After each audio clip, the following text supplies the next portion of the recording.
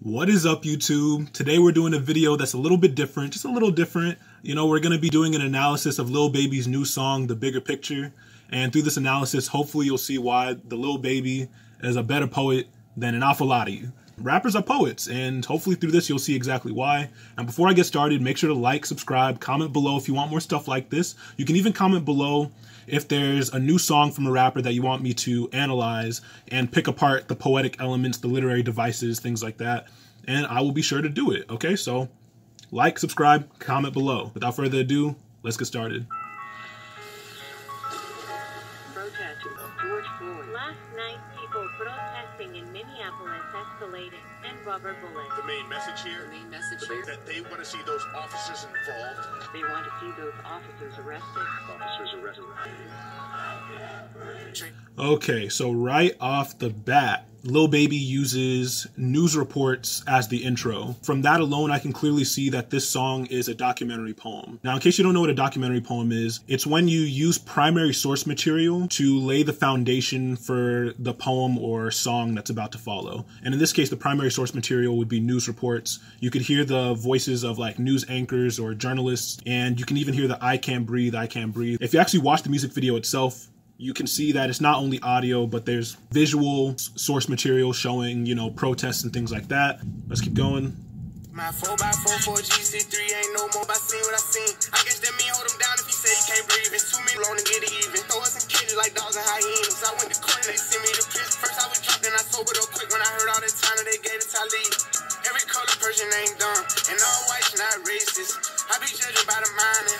So, in this initial part of the first verse, he does an awful lot that I would suggest you as writers do. He starts off by saying, I find it crazy the police will shoot you and know that you dead but still tell you to freeze. Here he is using dramatic irony. The irony in this case is that cops actually do this. They will shoot someone dead and still tell them to freeze, tell them to put their hands up, tell them not to move. Well, of course, they can't do any of those things. You've killed them. So there's dramatic irony that he starts off with. He later goes on to say, I guess that mean hold him down if you say he can't breathe. He does not explicitly say who the he is because he trusts the intelligence of the audience to know who he's talking about. Considering the times that we're in, considering the times in which this song came out, we know he's talking about George Floyd. And he might also be referring to Eric Garner, though. Uh, he could be referring to any number of people, technically, who uh, died this way due to police brutality. And that's the beauty in not saying the name. And trusting the audience to know who you're talking about, you also open up the possibility of various interpretations. He doesn't specify who it is, so it could be George Floyd, who it likely is, but it could also be Eric Garner or anybody else. It could even be like black people in general who feel like they can't breathe because of the oppressive system uh, placed on them. He says, throw us in cages like dogs and hyenas. Throw us in cages, referencing being thrown into jail like dogs and hyenas, a simile to compare people thrown in jail to animals. He later says, I went to court and they sent me to prison. My mama was crushed when they said I can't leave. First I was drunk, then I sobered up when I heard all that time that they gave to Talib. Now, the sobered up here is actually a double entendre. A double entendre is when you have any one word or phrase have two different meanings. So the sobered up quick can mean I saw how much time they gave to my friend in prison, so I stopped getting drunk so as not to get in trouble with crime. But sobered up quick here can also just mean getting my act together. So there's a double entendre there.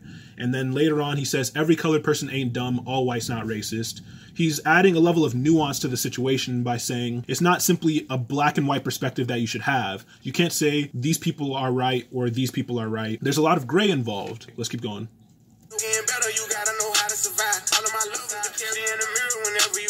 Overprotected, go crazy. They like the blind, following the blind. Think point, he starts really just addressing the audience directly. He says, I can see in your eye that you fed up with the things that are going on in the nation. He also uses a colloquialism that's common among black people stare in the mirror whenever you drive, which specifically means look into the rear mirror as you're driving in case of a cop so you can make sure to be extra careful. He's really saying this to show care for his loved ones. Like, please be careful. Make sure to look in your rearview mirror in case of a cop. So there's a colloquialism used there. He later on says, I see blue lights, I get scared and start running. Blue lights in this case can be a synecdoche or a metonymy. Now, a synecdoche is when a part of something is used to represent the whole. So blue lights in this case could be representing the police car as a whole.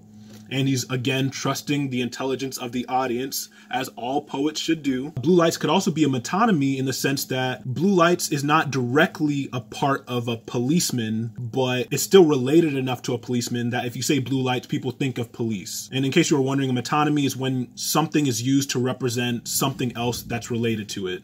I know that sounded weird, but just you get it, you get it. He also uses multisyllabic rhyming. Rappers specifically will call that multis. Multisyllabic rhyming can be seen in protect us, arrest us, neglect us, respect us. Did you notice that the syllables in each word rhymed? So that's something that he utilizes, and I would highly suggest that if any of you poets uh, want to rhyme in your poems, don't make it as simple as cat, bat, fat, sat. Add some complexity, add some flavor to the rhymes. Make multiple syllables rhyme.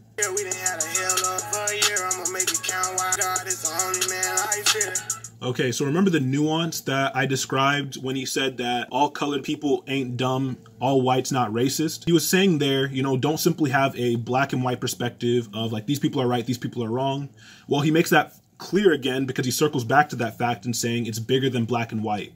Black and white here is a double entendre for like it's bigger than black people versus white people. Like that's not the whole situation. It's bigger than that. But he's also saying your perspective should be larger than a black or white perspective of like hardlined. This is right. This is wrong. You know what I'm saying? Let us keep going.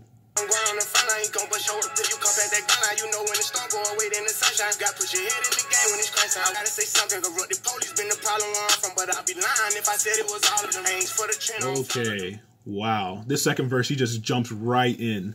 Again, he's using multisyllabic rhyming. He's saying frontline, gunline, sunshine, crunch time. And again, that, that just adds flavor. You don't want these boring rhymes if you're going to use it as a poet. I know not all poets today like to rhyme, that's fine. But if you are going to, don't make it boring. you know what I'm saying? He goes on to say, Corrupted police been the problem where I'm from, but I'd be lying if I said it was all of them. So again, he keeps circling back to the idea that it's not just black and white police are bad, period, point blank. He's saying, no, I know there are some good ones out there. And by adding this nuance, he's forcing the audience to look at the bigger picture. Some of y'all are finally like, oh, I get it. The bigger picture. That's why he called it that. Yeah. And hopefully that aids y'all in picking out titles for your poems. Look at whatever trend is consistent within your work. And from there, have your title encapsulate that trend. I don't- I can't lie like I don't rap about killing and dope, but I'm telling my youngest to vote. I did what I did cause I damn no choice and no gang. Ain't taking no more, let us go for them chains. God bless they soul, every one of them names. It's bigger than black and Ooh, okay, so in that remaining part of the second verse, he actually admits to his own glorification of the violence and the drug crimes that exist in our nation. He says, I can't lie like I don't rap about killing and dope, but he still says, I'm telling my youngins to vote.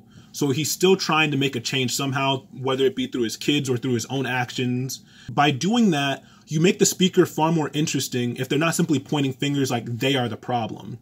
He's also saying, no, I am part of the problem as well. And by doing that while simultaneously relating to the audience, you force the audience to also look at their possible complicity in the struggles that they're facing.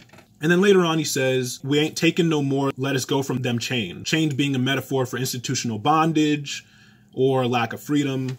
And then he says, God bless their souls, every one of their names. Names in this case is a euphemism for lives lost. Euphemisms are often used if you don't want to sound too heavy handed in the words you're saying. So names can just be victims.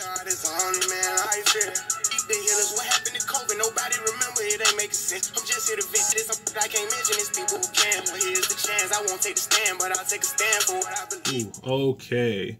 In this third verse specifically, especially in the initial part I just played, he is really communicating to the audience directly. He says he's venting, but he's also talking directly to the audience. He's saying, What happened to COVID? Nobody remembers, right?